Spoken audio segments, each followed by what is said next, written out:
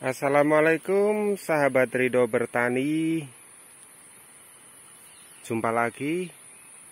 Salam sejahtera Untuk masyarakat Indonesia. Baik sahabat tani Kali ini kita sedang berada di atas ketinggian ya. Kita akan melakukan sambung sisip Pada dahan durian. Ini dahan yang berdiri sedang untuk dahan yang eh, masih posisi jantan ini masih kita sisakan ya sahabat ya.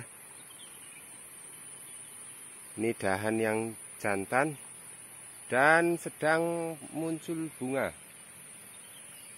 Oke, sedang muncul bunga ya sahabat ya. Ini kita di dahan yang naik kita potong setelah timbul tunas tunasnya akan kita sisip ya sahabat ya. Sambung sisip pada dahan durian dengan posisi dahan masih utuh. Oke sahabat. Yuk kita akan mulai sambung sisipnya. Baik sahabat tani. Ini adalah pemilihan tunas indukannya kita potong. Kita potong ini kita buang ya sahabat ya. Buang saja. Ya. Oke kita sudah memotongnya lanjut proses penyayatan ya. Ini karena usia batangnya cukup muda dan pas cocok. Kita lakukan sayatan ya sahabat ya. Oke sayatan di kulit tidak tipe V ya atau tidak dibelah tengahnya. Kita lakukan tipe N.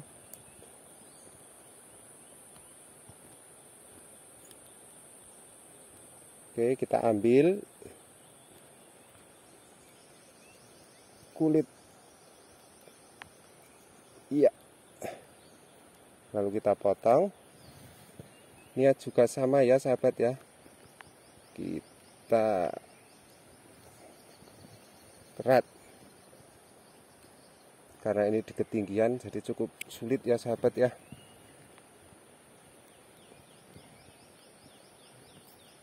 Oke.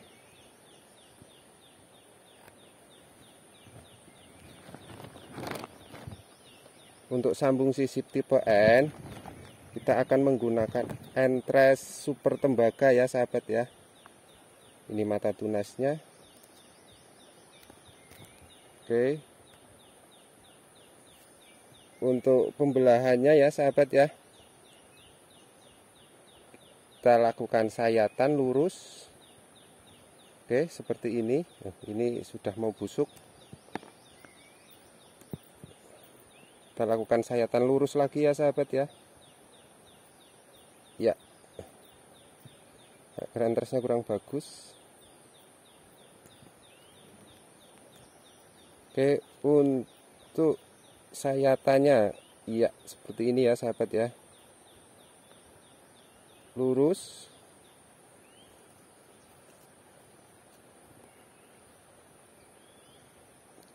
Di bagian ini sedikit. Kita buang daunnya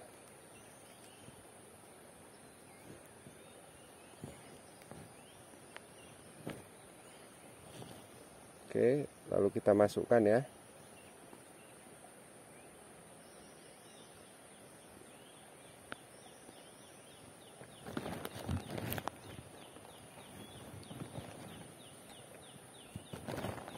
Oke, kita akan lakukan lagi.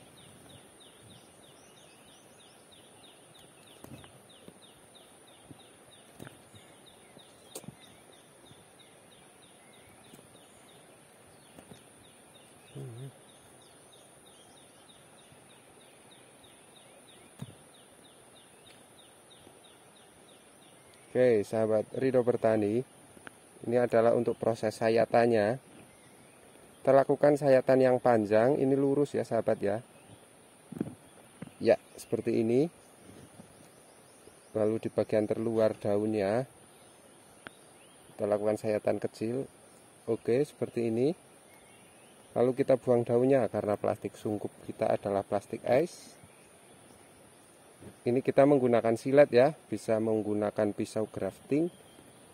Kenapa kita menggunakan silet? Karena bahan yang mudah sekali kita cari. Oke kita masukkan. Ya seperti ini ya sahabat ya.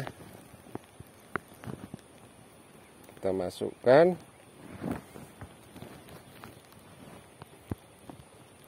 Ya di sela-sela kulit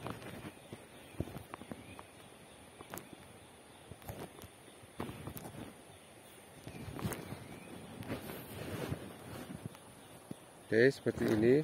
Lalu kita tinggal proses pelilitan ya sahabat ya.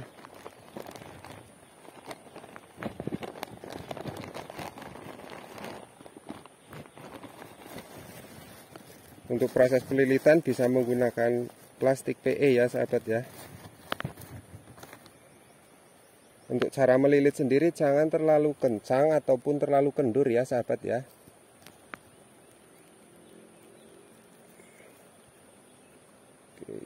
lilit.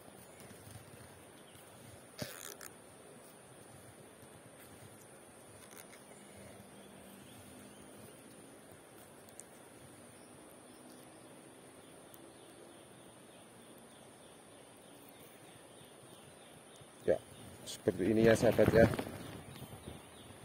Kita lilit. Semua maaf kameranya sedikit susah ya sahabat ya.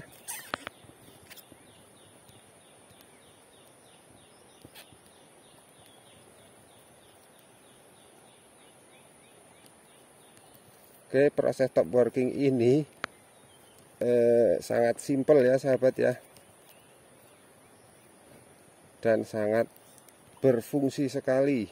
Kenapa saya bilang berfungsi? Karena dikala buah sedang muncul bunga kita bisa lakukan top working. Jadi kita masih memetik hasil panennya.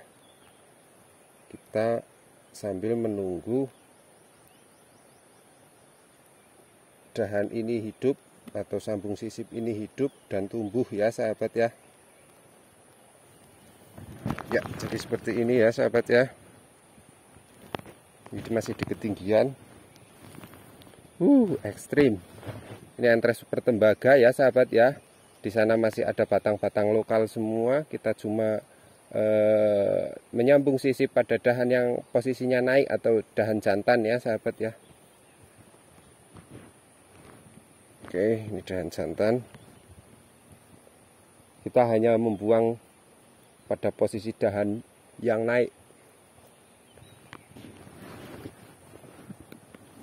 Oke sahabat, langkah terakhir adalah sungkup.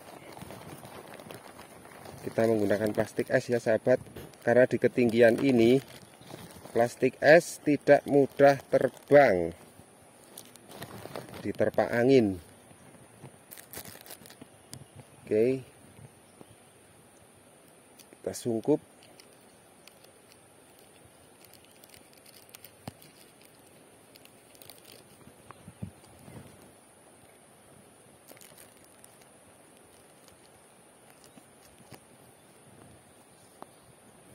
saat proses penyambungan terserah ya sahabat dalam pemilihan mata tunas ya. Boleh 1, 2, 3, 4 itu tergantung jumlah entres yang anda miliki ya. Jadi sahabat proses top working dalam posisi dahan masih hidup ya sahabat ya. Dahan masih hidup. Ya bisa kita lihat dahan semua masih hidup dan sedang muncul bunga tuh bisa dilihat bunganya.